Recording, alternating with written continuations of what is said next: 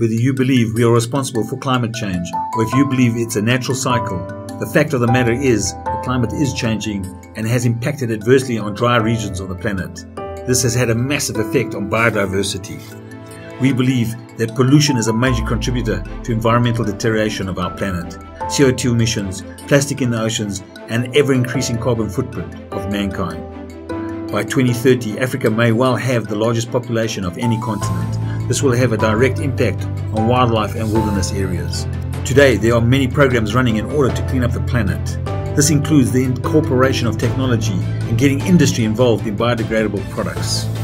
We believe that you can remove the plastic from the oceans, but what will stop people from repolluting? The only way to truly change people's habits is through education.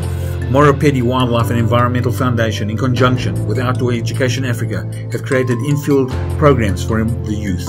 The purpose of these programs is to educate about the consequences of destruction of habitats and pollution. We also engender an understanding of the value of wildlife and ecotourism.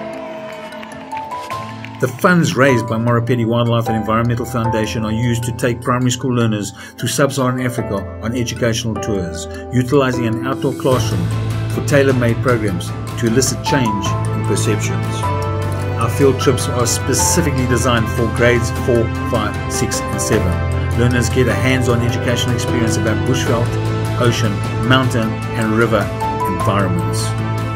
These experiences are the foundation of the future leaders of environmental sustainability. Many learners who are averse to expressing themselves in a traditional classroom suddenly find the voice and confidence. At the same time, ensure the survival of many species of plant and animal.